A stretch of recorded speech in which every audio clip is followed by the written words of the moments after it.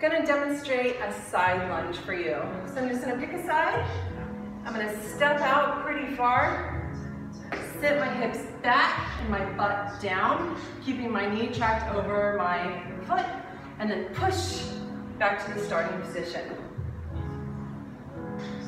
Right, and if you do one side, chances are you're gonna do the other side as well. Here's the side lunge on the other side.